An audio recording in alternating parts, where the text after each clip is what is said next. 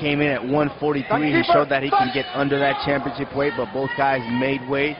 And, um, you know, else fails, he was. And for Yusuf, I think he's just got to control the tempo of the fight. He's working with Lloyd Irvin down there, so you know he's well versed on the ground as well, and he's going to be able to get back up, and, and he's got excellent jiu-jitsu, so, you know, he's going to have to control the tempo of the fight. And beautiful, ooh, and you can see he did a great job here, you know, getting up from that takedown.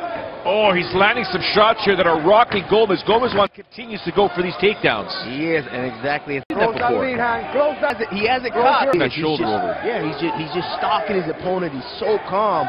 One thing I'd like to see him do though i- i- is throw some kicks, mix in some kicks there.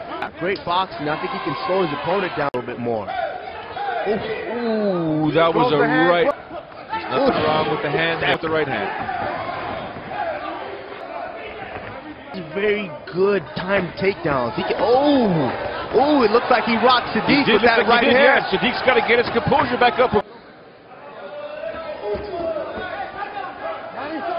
Made Sodiq angry. He went in there with a knife. I don't want him to get reckless here because a lot of fighters do that. They get reckless. They get tapped. Setting up. And this has kind of been some of the, the, the knock on, on, on Alonzo as a referee here. You know. Oh, he just dropped him on his head.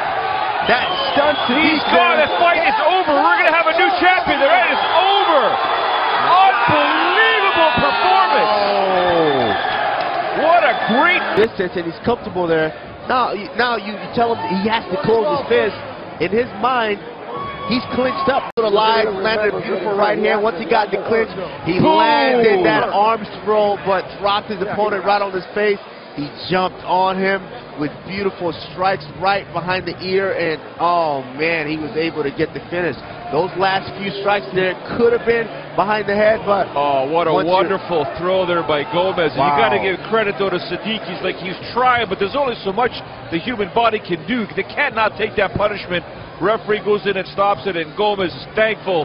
Like just a beautiful overhand right there. And then right when he got too aggressive, right when Sodiq got a little too aggressive, I think he threw a right, and that's when he turned around. Boom! Dropped him right in his head. All Wow. judo practitioners would also be proud of that. What a great fight What there. Unbelievable. Fantastic performance. Has the ability now. He's